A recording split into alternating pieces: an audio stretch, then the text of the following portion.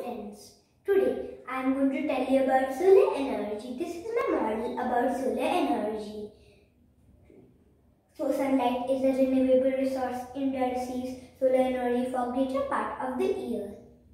This is a solar panel which can convert solar energy into electricity. This electricity is used to operate this water pump. This water pump is used to pump water from under the ground. Water goes to the overhead tank.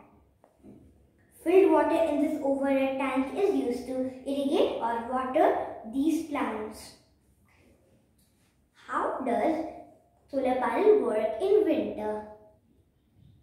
Solar panel create electricity from the sun's light, not the sun's heat. The angle of panels may need adjustment to a higher angle in winter